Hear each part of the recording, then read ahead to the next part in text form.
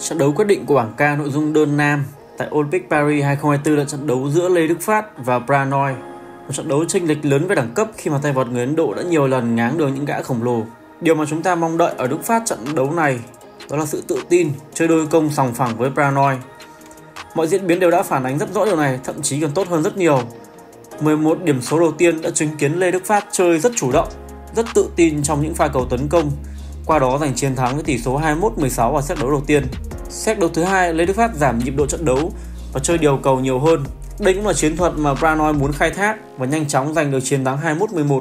Sau khoảng thời gian này, Đức Phát quyết định quay trở lại lối chơi tấn công như ban đầu và thế trận đã bắt đầu giằng co hơn. Về cuối trận, những lỗi tự hỏng đã xuất hiện nhiều hơn sau những đường cầu dài mà Pranoy bào mòn thể lực của Đức Phát. Chiến thắng chung cuộc 2-1 cho Pranoy, nhưng đây là một nỗ lực rất đáng khen ngợi dành cho Lê Đức Phát trước một đối thủ mạnh. Chúc mừng Lê Đức Phát đã thi đấu hết mình.